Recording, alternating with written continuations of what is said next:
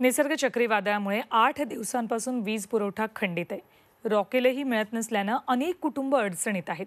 घरगुती व्यवसायांवर परिणाम झालेला आहे. निसर्ग चक्रीवादळामुळे रायगड जिल्ह्यात विजेचे खांब मोठ्या प्रमाणात उन्मळून पडलेत. तेव्हापासून वीज पुरवठा खंडित झालाय. त्यामुळे अनेक छोटे मोठे उद्योग अडचणीत आलेत. पाहुयात एक रिपोर्ट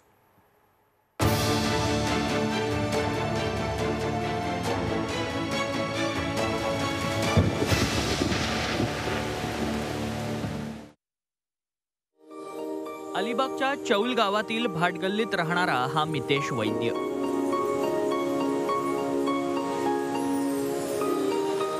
B Sc S ॲग्रिकल्चरचं शिक्षण पूर्ण केल्यानंतर त्यानं नोकरीच्या मागे न लागता दुग्ध व्यवसाय निवडला.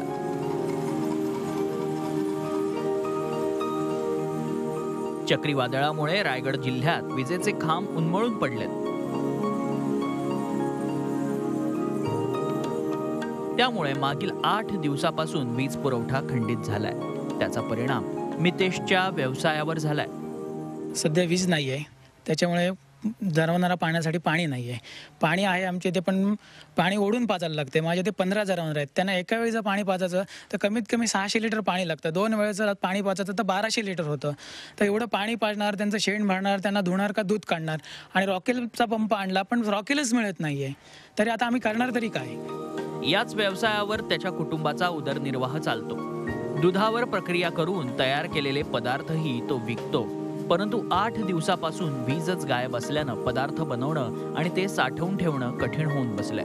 त्याचा परिणाम कुटुंबाच्या रोजगारावर झालाय. दूध आम्ही विकतो आणि रात्रीचं जे दूध निघतो ते आम्ही तापून त्याचं दही लावतो. दह्यापासून ताक बनवतो लोणी चक्का किंवा पियूज बनवतो. ह्या सर्व वस्तूंना भरपूर मेहनत लागते. पण ती मेहनत करून सुद्धा फायदा काही होतच नाही कारण लाइट नाही. लाइट नसल्यामुळे फ्रीज चालू नाही. परिस्थिती पाहता वीज पुरवठा लवकर सुरू होण्याची चिन्ह नाही. त्यामुळे पुढं काय करायचं? हा प्रश्न वैद्य कुटुंबियांपुढे. आहे प्रफुल्ल पवार झी चोवीस तास रायगड.